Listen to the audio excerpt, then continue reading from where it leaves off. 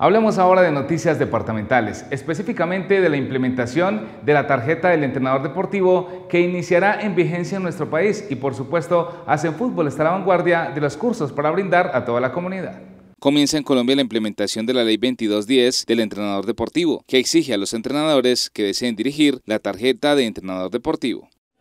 Eh, soy Víctor Hugo Castrillón, presidente de la Asociación Colombiana de Entrenadores de Fútbol y miembro del Colegio Colombiano de Entrenamiento Deportivo, COSED,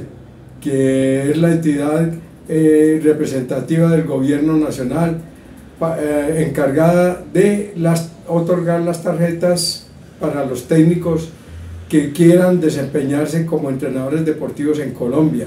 a través de la ley 2210 de mayo de 2022 se inicia este proceso importantísimo en nuestro país, el cual redundará en el desarrollo del deporte en Colombia a nivel mundial. Hacen fútbol, independiente cual sea su deporte, prepara para la evaluación con un curso de 60 horas que le brindará herramientas para el examen de COLEF, Colegio Colombiano de Entrenadores Deportivos. La importancia de, de este proyecto es de que ya todos los entrenadores en nuestro país deben tener titulación profesional, lo cual redundará en la aplicación